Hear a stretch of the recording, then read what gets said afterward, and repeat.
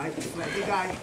He's holding my, my sleeve. But the, what he will love to do is create space between me and him. And if he put the hooks inside him, yes. He can attack you like shoulder locks, a lot of things here.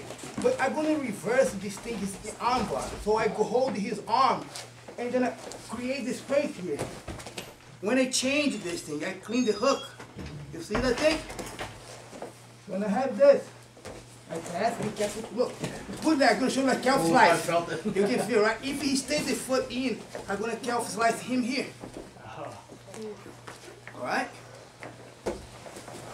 If now I go under, so I'm not calf slicing him. It's free. So now I shoot my knee inside. Oh, sorry, sorry. Yeah, that was good. Sorry, sorry, sorry. Sorry if you my, my bones in my, on my foot hurt you. Yeah, I'm good. He's got arthritis.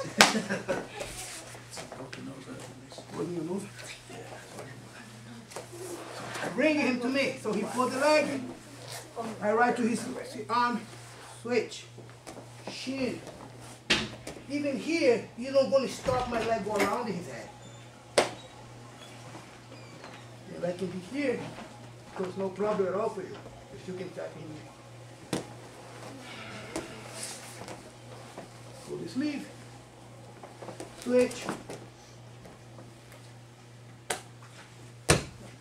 All right? One, two, three. Go. Okay. I'll try to avoid the